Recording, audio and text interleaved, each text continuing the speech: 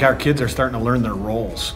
Uh, you know, I think they understand that Nolan's a guy that's got to get shots for us, and our big kids are playing strong. And uh, you know, one of, one's a sophomore and one's a junior. Two of them are sophomores and one's a junior, so they're still learning there. And then our veterans are starting to play like veterans, and everybody's doing their role real well.